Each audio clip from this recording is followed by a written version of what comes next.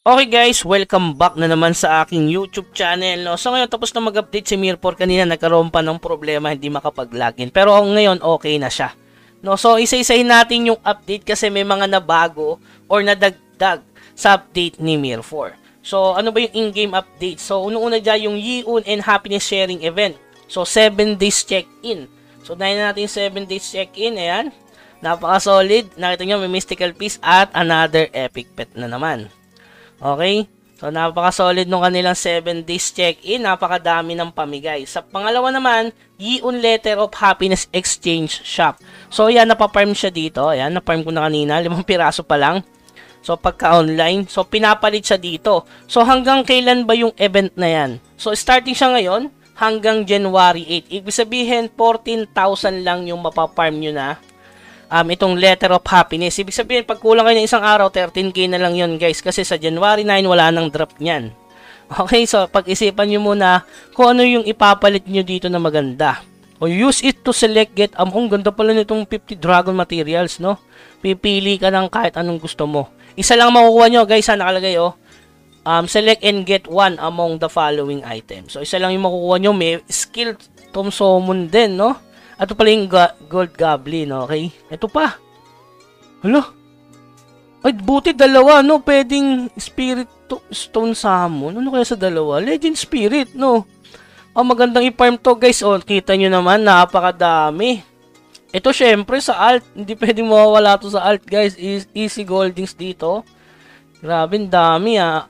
Azurium, di pag-iisipan ko muna kung ipapalit ko dyan. Pero ang pinaka the best dito guys, eh, ito syempre, unang-una. So dito pa lang, 3,000 na yung makakainin. 5,000.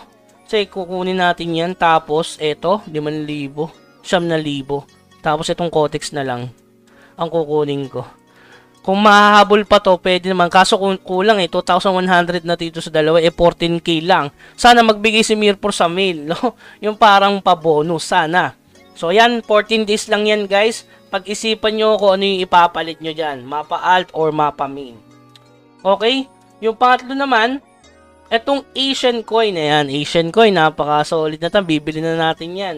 So, nasa common product event, siyempre, Asian coin agad. Ito, yan, 5,000 glittering yan. Napaka-solid, 100,000 lang. Pero may tag 5,000 glittering and elixir na yan. So, ayan na, guys. Oh. Tag 5,000. Ang ganda niyan sa alt kasi pag nag-crop ka niyan, naging epic, pambenta agad sa gold. Napaka-solid. So, yung pang ito, 2, 4. Yung pang-apat, syempre itong shop.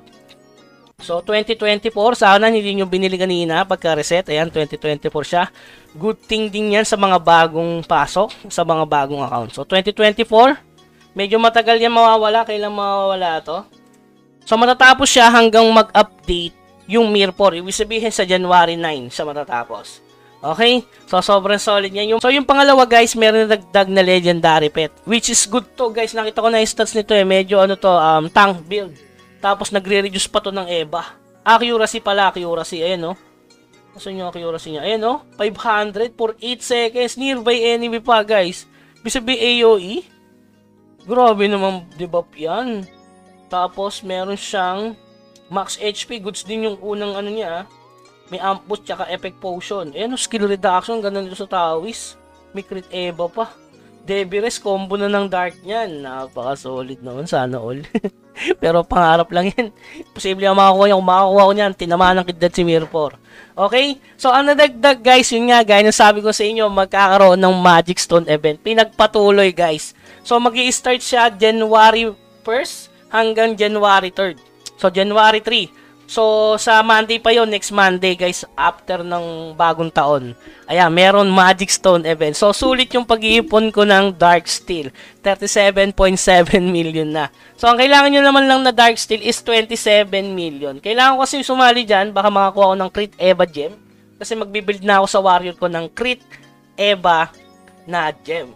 So, may mga per perfect na akong magic stone dito, which is ito, yan, mga goods na rin yan. Pero gusto kong madagdagan siya ng mas goods pa dito. Yan, katulad niya, may crit Eva to, napakataas guys. Nakita niyo ba yan, crit Eva niyan? 80. 'Di ba? Wala siyang patapon na na stats. Okay? So, yun lang naman yung mga update ni Mirpor. So, enjoy gaming, enjoy farming. Kailangan nyo i-farm yung mga alt nyo para magkaroon kayo ng goldings dito. So sa akin, kung sa alt ito kukunin ko at isingit ko na rin to kasi kapag kinumbine mo to into rare, pwede siyang maging tradable. Okay? So yun lamang guys, hanggang sa muli. Paalam.